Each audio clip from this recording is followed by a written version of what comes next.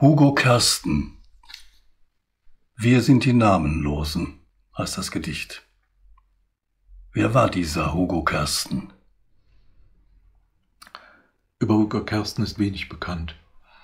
Er wurde 1892 in Danzig geboren und starb 1919 durch Selbstmord in Berlin. Er hat zu Lebzeiten kein Buch publiziert. Seine Texte wurden erst 1980 gesammelt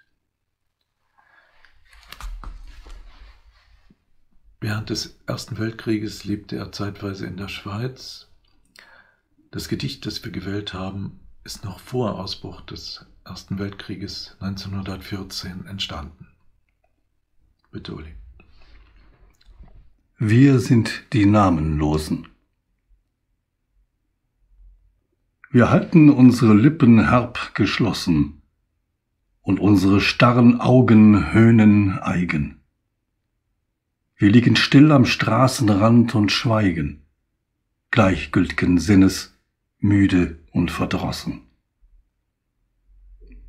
Wir sind die Übergangenen im Leben, wir, die am Wege hinter Schlehen rasten, bis wir mit schweren Füßen weiter tasten und dennoch nie nach einem Ziele streben.